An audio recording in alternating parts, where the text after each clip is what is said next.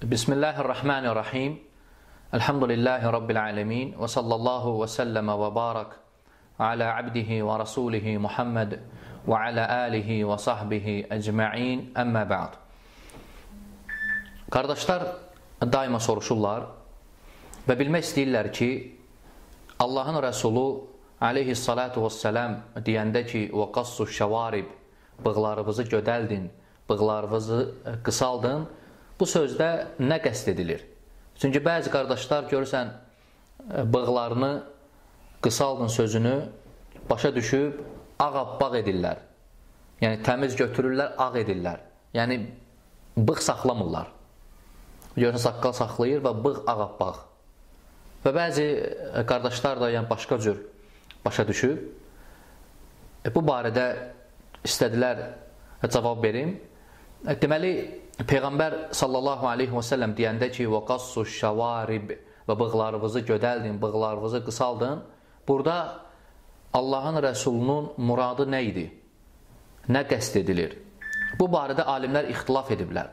Bir qrup alimlər deyib, və qassu şəvarib dedikdə, yəni bığlar təmiz götürülür, ağ edilir. Ağabbağ, yəni təmiz götürülür.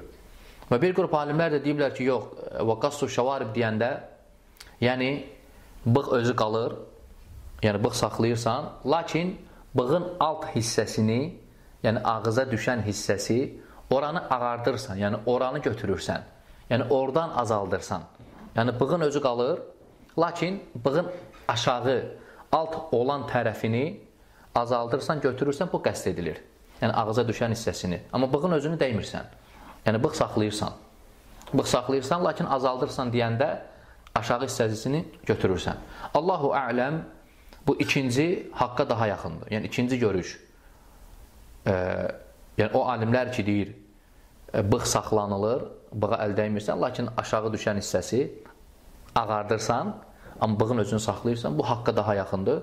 Və əksər alimlər bunu bunu deyiblər. İbn Qayyim rahimehullah və həmçinin digər alimlər bu görüşdədir və bu haqqa daha yaxındır. Allahu ələm. Ona görə də deyirəm ki, yəni bığları təmiz ağartmaq yəni ə, təmiz ağartmaq, ağ eləmək düzgün deyil. Və Peyğəmbər sallallahu aleyhi və səlləm və qassu şəvarib deyəndə dediyim məna qəst edilir.